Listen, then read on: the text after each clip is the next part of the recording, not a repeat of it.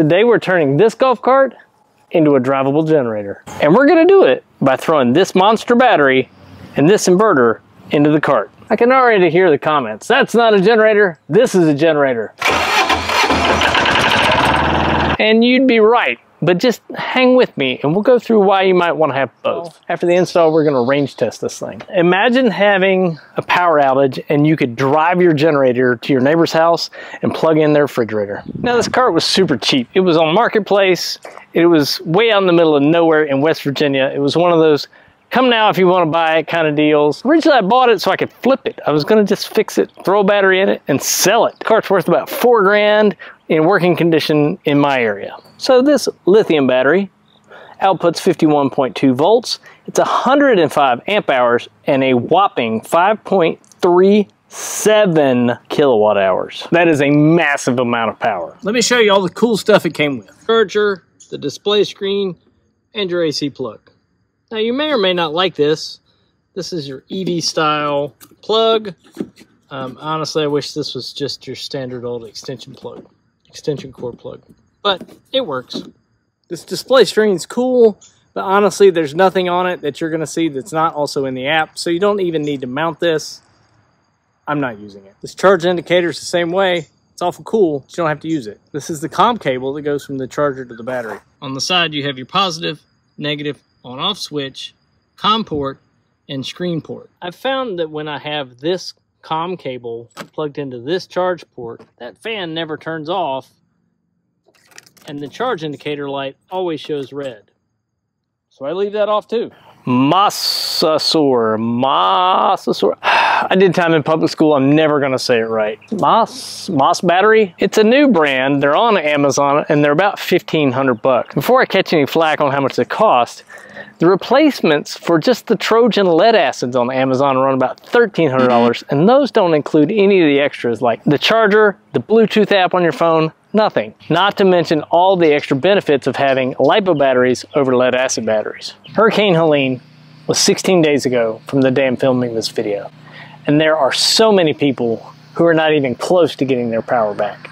You cannot run your house on a generator for 16 days. Do you know how much fuel that would take? In a place where there's no fuel and no electricity, what do you do?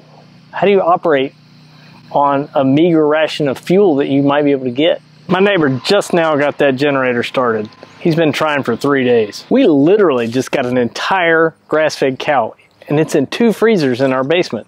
How would we keep that cold for two weeks or three weeks or a month? What if you had critical medical devices that had to run all night when you were sleeping like a CPAP machine? What if your house is like mine and you've got a sump pump? And if that's not on during a rainstorm, then my basement will flood. So if you have a golf cart, you have power stored that you could be deploying for your needs. So this inverter is actually pretty cool. It's a pure sine wave. It'll run your electronics without damaging them, and it has an eco mode. It means if there's no load on the machine, it turns itself off, and it's not consuming nearly as much power as a standard inverter would use at idle. So this would be great for a sump pump. It's only going to run when the pump is trying to run. It'd be great for your freezer because it's or your refrigerator because it's only going to turn on when that compressor kicks on. And at 3.7 kilowatts, it's three to four times more power than your standard like Jackery or your entry level EcoFlow, all these battery generators that are super awesome and I wish I had one. But this has got a lot more power.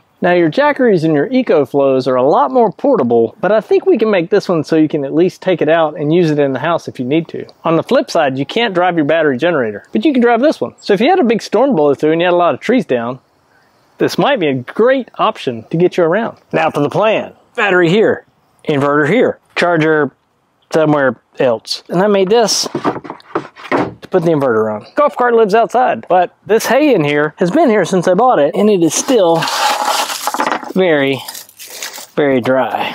I bought this heavy duty Anderson extension cable, and what I'm gonna do is cut it right there and put lugs on it. Half of it is gonna go to the inverter, and the other half is going to go to the battery. Now it's going to give me options. Let's say I wanted to wash the golf cart for some reason. I can take the inverter out of it. Now the battery is waterproof. It's also going to give me the option to take it in the house if I need to. Uh, let's say I wanted to run my sump pump and I could just take the battery and the inverter out and take it into my house and plug it in. Be good to go. This AC charger, which could run on your generator, should charge this battery from 0% to 80% in about two hours. That's way better than the charge time on your lead acid batteries. This is really a two person job. This thing is a little heavy. Be careful you run tow switch and you don't smash it.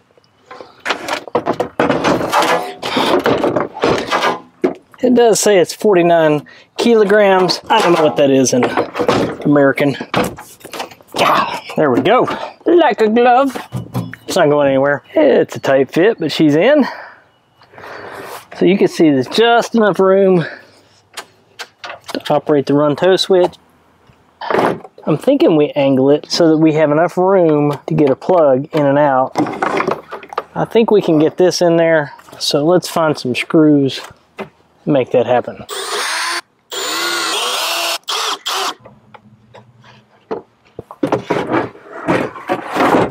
Oh yeah. Oh, I like this. Let's pretend this was an extension cord. Can I get it plugged in? No, I cannot. All right, let's cut some of this out.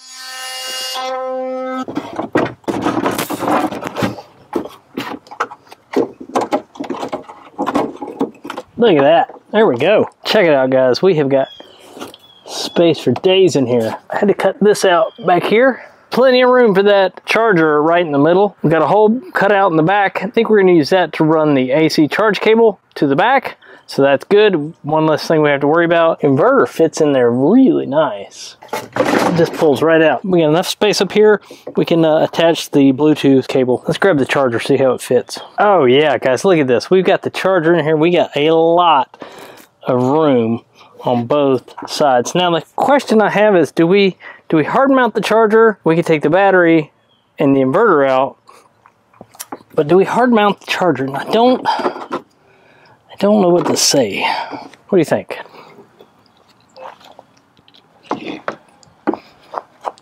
She's on there. We're gonna throw this cable on. I think this is gonna be it for me for this evening. Pretty simple setup right here. So we're in the run position. We'll turn the switch on.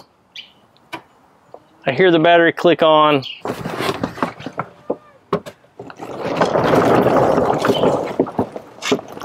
Yeah, I'm not actually going anywhere. All right, guys, we're back. I've been busy. Uh, I think today every neighbor I have has decided to cut grass, hire a tree company, run a stump grinder, and there's been a million planes flying overhead. So I've been busy working and not filming because it's been so loud. I did some good things. I did some dumb things. I did some things that you might not have to do.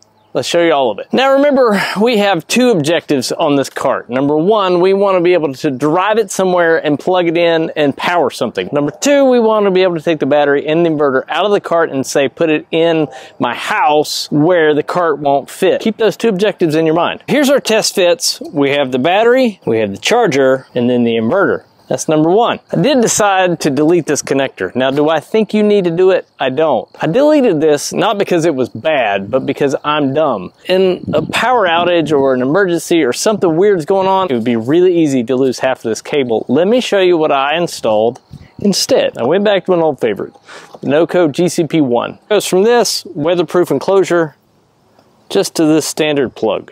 And if we do have a power outage, I'm not going to forget the cord because this just uses a standard extension cord. This inverter is equipped with a little pigtail, it's about this long, it goes into a green connector, and that's so you can turn the inverter off and on remotely. So I installed this guy. Inverter off, inverter on. Oh, you want to see something dumb? I thought I was being smart. I installed this USB outlet. I thought I bought the 48 volt version. Nope. Fried it, it's dead. I'm gonna have to buy a different higher voltage one. And the important thing, look, I finished our Anderson cable. We put two lugs over here, one there, one there, and we ran the ends into the uh, into the inverter. Now this is that remote wire. It's ugly, but it's what I had laying around, so it's free. We are plugged in. That didn't work. Stink. Apparently I did not crimp this nearly enough. That seemed a little better. That was embarrassing. Like Casey Liddell says, I never said I was good at this. Just telling you how I'm doing it. We've got our battery on. We've got our drill plugged in. Our uh, switch on the inverter is on. And the remote switch is on. Let's see how it does. All right. Hey, that's actually eco mode. That's pretty fast. So eco mode should have up to a two second delay. So right there, two, that was eco mode. The way eco mode works is it doesn't actually turn the inverter on until it senses a load and it saves your battery. It would probably be pretty annoying if you were running tools like this, but I think if you were running a fridge, it would be pretty awesome. Very cool stuff. Now let's see the process to actually take this out. We're unplugged, remote switch is off, the remote switch. And then this whole thing comes right out. And I can put the jumper right back in so that it actually turns on. And with two bolts on the battery, the battery comes right out I can take this whole unit right in my house. Let's get the Bluetooth module for the inverter installed. Specifically, this is for anything with the VE direct port, like this guy right here. This is what you're gonna have to use to control your inverter. I'm gonna use some double-sided tape. We're gonna put it right there.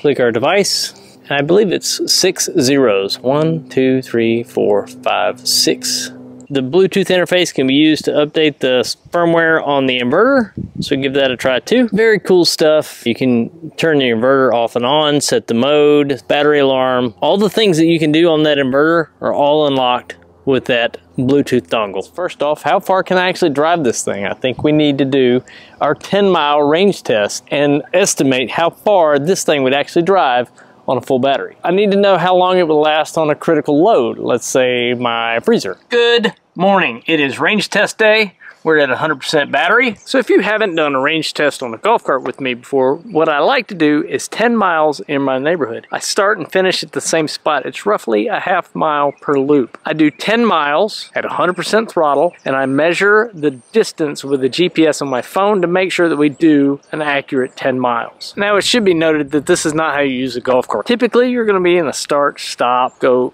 less than full throttle situation and definitely not for 10 miles. We're zeroed out and we're gonna go full speed. Oh my goodness, this thing is making a bunch of noise. Morning. I think this is a leftover from a golf course. So it's a corporate car. It's definitely going slower than my E-Z-GO. Got 18 more laps to go, and my neighbors are all waving. They think I look ridiculous. So we are at two and a half miles and 96%. We just hit five miles, 91%. Man, we're cooking this thing. Onward. Oh, there we go. 10 miles. 82%. Took 18% of the battery to go 10 miles. It's 1.8% per mile or 55 miles on 100%. That's pretty good. So this is not bad, this is just worth noting. At 82%, this charger will not kick on. I have to use this COM cable